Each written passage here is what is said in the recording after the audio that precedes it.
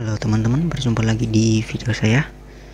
Pada kesempatan kali ini saya ingin membagikan tentang cara untuk mempercepat koneksi internet yang ada pada wifi teman-teman. Jadi cara ini bisa teman-teman pakai untuk mempercepat koneksi internet ya eh, yang ada pada mikrotik teman-teman.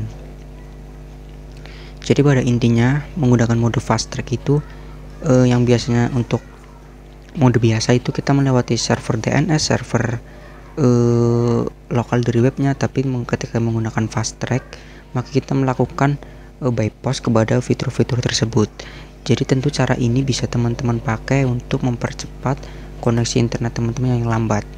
Namun untuk uh, tutorial ini lebih saya fokuskan untuk uh, para pengguna mikrotik yang tidak menggunakan limitasi fungsi limitasi pada bandwidth jadi ketika kita ketika kita menggunakan fungsi ini limitasi pada bandwidth itu akan hilang gitu. Oke kita langsung saja ke pembahasannya. Silahkan terlebih dahulu seperti biasa teman-teman buka winboxnya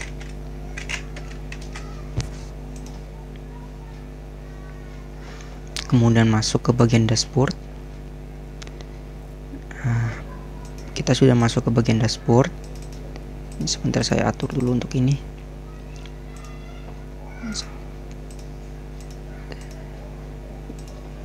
saya close semua. Nah misalkan kita sudah masuk ke, bagi, ke bagian dashboard pada mikrotik. Berikutnya silahkan teman-teman klik pada IP kemudian masuk pada firewall dan masuk pada bagian mangle.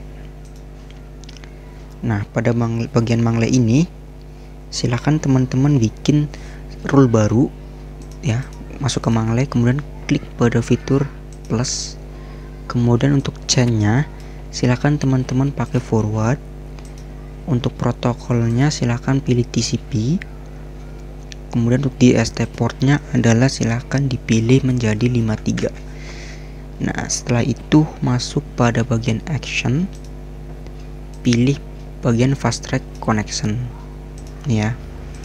Setelah itu berikan komen. Fast track DNS TCP itu klik OK. Setelah itu klik apply OK. Nah uh, setelah itu untuk TCP sudah dibuat. Berikutnya adalah kita membuat untuk uh, eh, UDP nya caranya sama klik plus. Nah kemudian pada general pilih bagian forward sama. Kemudian untuk protokolnya UDP nah untuk TST portnya sama 53 setelah itu masuk ke bagian action. Pilih fast track connection. Pada komen masukkan fast track DNS UDP setelah itu klik OK oke play oke nah ini sudah dibuat ya. Nah berikutnya silahkan teman-teman bisa meribot ya. Bisa meribot mikrotiknya dengan cara masuk ke sistem kemudian reboot nanti reboot. Nah setelah meribot nanti bisa teman-teman uh, selesai ya untuk tutorialnya. Selesai bisa untuk sekarang untuk fungsi fast track sudah aktif dan sudah bisa digunakan. Dan ini biasanya langsung mempercepat koneksi internet yang digunakan oleh teman-teman.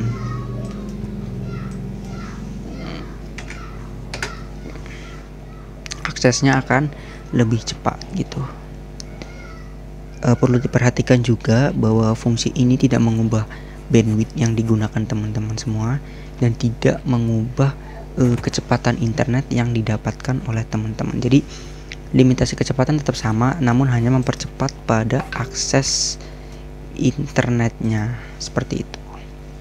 Ini untuk komputer sudah saya limitasi ya. Jadi kecepatannya ya udah bakal sama gitu. Oke, seperti itu ya ini pingnya 22 jitternya 19 oke seperti itu. Semoga artikel ini bisa bermanfaat dan sampai jumpa di video saya yang lainnya. Terima kasih